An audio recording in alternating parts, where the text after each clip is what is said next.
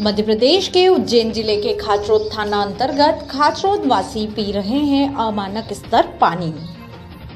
पीने का पानी अत्यधिक हार्डनेस के साथ अन्य केमिकल युक्त पानी।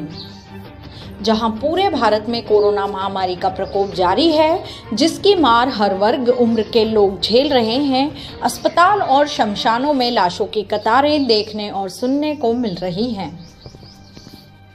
प्रकृति द्वारा मानव जाति को समानता के साथ, अधिकार के साथ, अनमोल देन, जल और वायु की शुद्धता दी है। लेकिन उसके लिए आज मानव जाति को तरसना पड़ रहा है।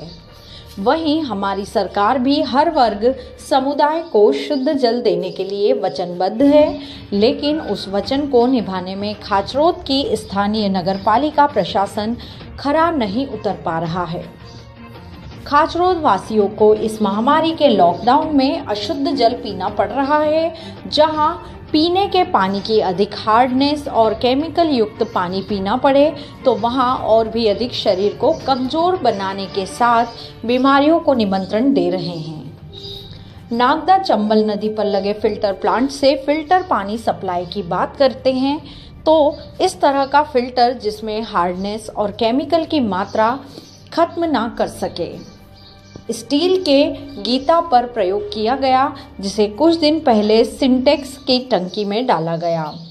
इसे जब बाहर निकाल कर देखा गया, जहाँ हमारा अनुमान सही निकला, जिस उद्देश्य से इसे डाला गया था, वह आज आपके सामने है। जो मानव शरीर को एसिड युक्त पानी पीने से कितने ब्लॉक हो रहे हैं, जो शरीर के फेफड़ों को डैमेज करता है और ऑक्सीजन की मात्रा को भी कम कर देता है।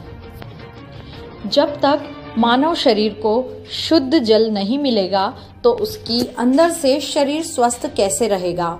यह पानी जो हल्का, मटेला नलों में आता है, जिसमें एसिडिटी, बेस, केमिकल मिला रहता है, यही पानी धीरे धीरे जमने पर अपनी, अपना असली रूप दिखा देता है।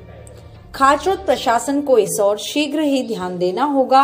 अन्यथा वो दिन दूर नहीं कि खाचरोद वासी इस पानी से गंभीर घातक बीमारियों से ग्रसित हो जाएँगे। सीआईडी न्यूज़ के लिए खाचरोद नागदा से मुरलीदास बैरागी की रिपोर्ट।